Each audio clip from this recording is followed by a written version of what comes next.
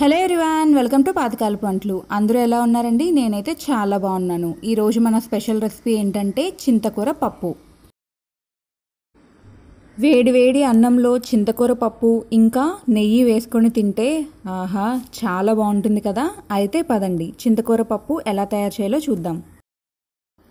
కావాల్సిన పదార్థాలు.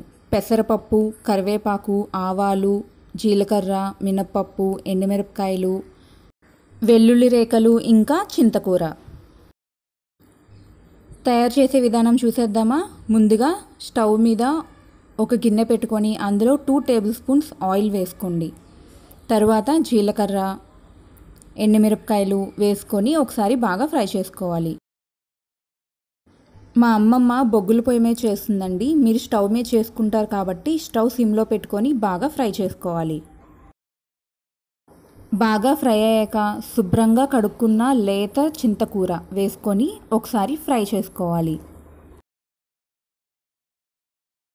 స్టవ్ సిమ్లో పెట్టుకొని మాత్రమే ఫ్రై చేసుకోండి లేకపోతే చింతకూర తొందరగా మాడిపోతుంది. చూడండి చింతకూర చక్కగా ఫ్రై అయిపోయింది. ఇప్పుడు దీన్ని పక్కకు తీసుకొని బాగా చల్లారాక మిక్సీ పట్టుకోవాలి.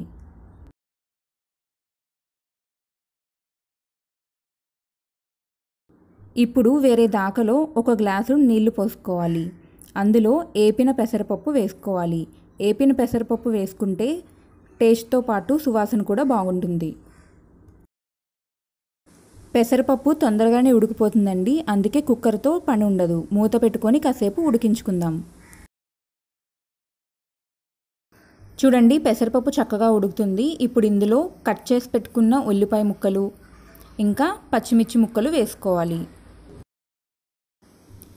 ఏపీ చల్లార పెట్టుకున్న చింతకూరని మిక్సీ పట్టుకున్నాం. దీన్ని పక్కన పెట్టుకోండి.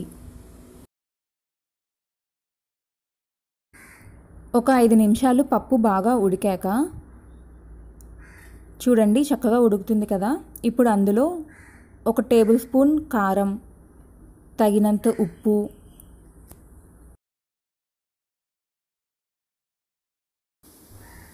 ఇంకా మిక్సీ పట్టుకున్న చింతకూర. ఈ పప్పు చింతకూరలో ఘాటు కొంచెం ఉంటేనే బాగుంటుందండి. అందుకని కొంచెం ఘాటు ఎక్కువగానే వేసుకోండి. ఇప్పుడు మనం వేసుకున్నవన్నీ ఒకసారి బాగా మెదుపుకోవాలి. మీ దగ్గర పప్పు గుత్తుంటే దాంతో కానీ లేదా ఇలా గరిటతో కానీ మెదిపితే సరిపోతుంది. చూడండి పప్పు చింతకూర అన్నీ బాగా కలిసేలాగా ఒకసారి కలుపుకొని మళ్ళీ స్టవ్ మీద పెట్టుకొని ఇలాగ ఉడికించుకోవాలి.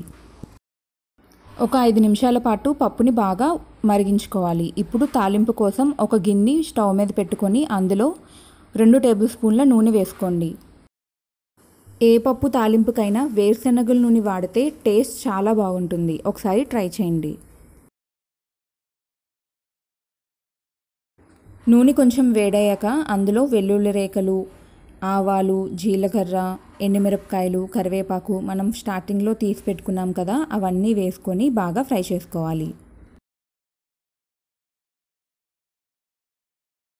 మనం వేసే తాలింపును బట్టే పప్పుకి మంచి టేస్ట్ వస్తుంది కాబట్టి తాలింపు చాలా జాగ్రత్తగా వేసుకోండి. ఎక్కువ మాడిపోకూడదు అలాగని అస్సలు ఫ్రై అవ్వకుండా ఉండకూడదు.